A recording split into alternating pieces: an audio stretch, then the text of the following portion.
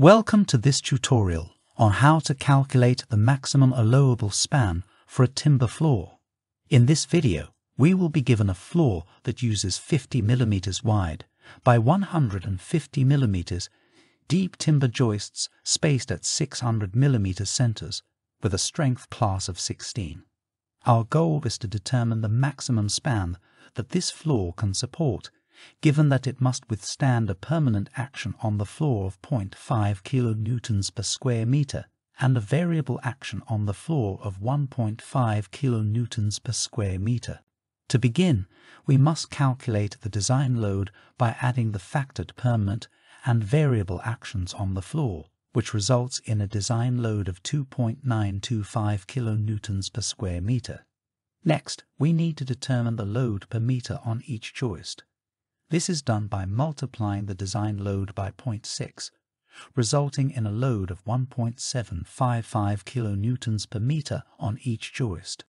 To calculate the bending moment for a simply supported floor joist with a uniformly distributed load, we can multiply the load W by the length of the floor joist L squared and divide the result by 8.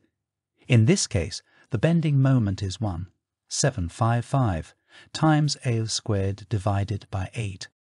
To determine the elastic section of a beam with a rectangular cross-section, we can multiply the width b by the height, h squared, and divide the result by 6. In this case, the elastic section is 50 times 150 squared divided by 6, which equals 187,500 cubic millimeters. The design bending stress is determined by considering strength modification factors and partial safety factors for material strength.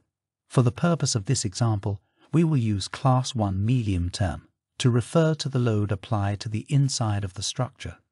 This results in a design bending stress of 0.8 times the strength grade of 16 divided by the partial safety factor for material strength, which is 1.3 for timber.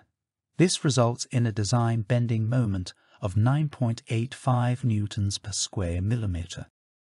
We can calculate the bending moment by multiplying the design bending stress, 9.85 newtons per square millimeter, by the elastic section, 187,500 cubic millimeters. This results in a bending moment of 1,846,000 154 newton millimeters or 1.85 kilonewtons meter.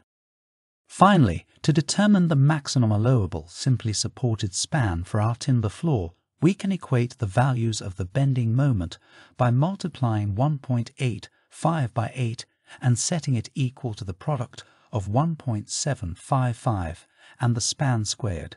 Solving this equation gives us a span of 2.9 meters as the maximum allowable simply supported span for our timber floor. I hope you found this tutorial helpful. Thank you for watching.